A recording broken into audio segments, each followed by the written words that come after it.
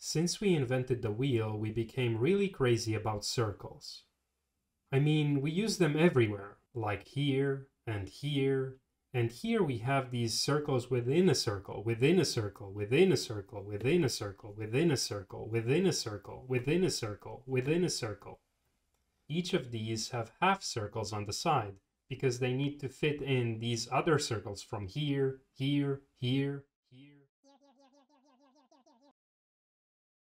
Also, this thing is full of them. We use circles so much because they have important properties that are ideal for all kinds of things. You can really say that circles make our world go round. And because they're so special, today's video will be all about the circle equation.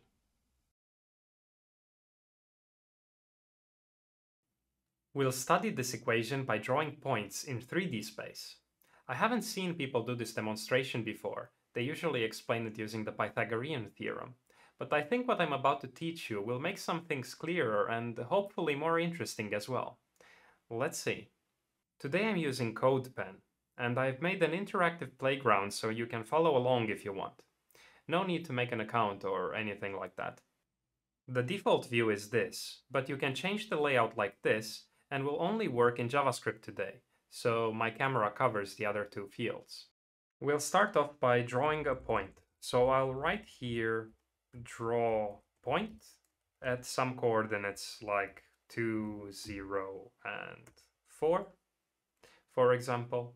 And now on the right, we will get this dot right here. And this dot is centered at 2 on the x-axis, 4 on the z-axis, and 0 on this y-axis. The axes are red, green, blue, x, y, z, if that makes sense. Now, this point right here is actually redrawn on every frame, like the function here says. And there are like 60 frames per second, so we actually see here a lot of points on top of each other. I can show you what I mean by making the x value be a random value instead. And let's pass here x and now when I refresh, we see a lot of different points with random x coordinates, but all the others are the same. So all of them are 4 on the z-axis and 0 on this y-axis right here. Let's take out these variables here. So y is equal to 0 for now and z Let's make z also a random value just to get the better idea of what's going on. So I'm going to put here x, y, z in the draw point function call. And now you see points scattered all over this plane, actually. They're not all over the space because y is zero there. If I would put y to random, then they would cover the whole space right here. But I'll let you play with that. Instead, I want to make z the value of a function that depends on x. So let's write here f of x is equal to x for now. And z is going to be the value of this f of x. When we will plot these right now, you're going to see the function f of x is equal to x. So you're probably familiar with this already. It's just a line going through the origin. And for every x value, the value of the function plotted here on the z-axis is the same. So all of these are equal. And that's the first part of this circle equation. So I'm going to split it, break it down, take it step by step, and see how this circle magically appears at the end. Now, the next part is this right here. So we subtract something from x, a constant value. Let's say this value is going to be 2, for example. What will happen is our new function is going to be shifted downwards so that it crosses this z-axis right here at minus 2. This is typically called the y-intercept. But now I'm plotting this on the z-axis here, so uh, I guess it's the z-intercept or whatever. So what this part of the equation here does is it translates up and down this f of x function. If we put here minus 3 instead, then this is going to look like this, passing through this minus 3 value right here. But what happens if we square this? So let's try to take this value, f of x equals x minus 3 to the power of 2. We now get this other shape called a parabola. Let me focus on this xz axis and see it forming here. So it touches now this point 3 right here on the x-axis. Somehow the up and down translation I mentioned previously is now changing into a left to right translation.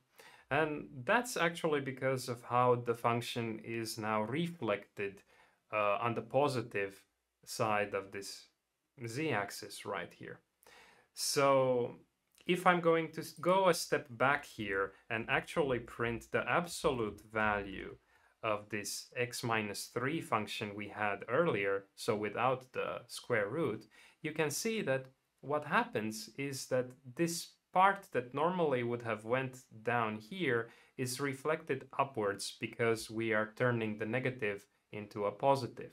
And squaring has the same effect because when you square a value, uh, if it's negative, it also becomes a positive. So now we can think about this first term here, this constant, as a translation horizontally instead of vertically like we had previously.